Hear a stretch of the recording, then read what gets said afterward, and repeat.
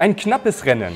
Unser Schmalstreifen Mungo und der Oktopus sind gegeneinander angetreten und gewonnen hat Paul, unser intelligenter Oktopus. Mit seinen acht Tentakeln schwebt er förmlich durch das Wasser und versteckt sich auch gerne mal in seinem Aquarium. Da sein Körper weder Knochen noch Knorpel hat, ist er extrem beweglich und passt in die kleinsten Zwischenräume rein. Halte auf jeden Fall Ausschau nach ihm und wenn du immer schon mal einen Oktopus fressen sehen wolltest, schau dir unbedingt unser nächstes Video an.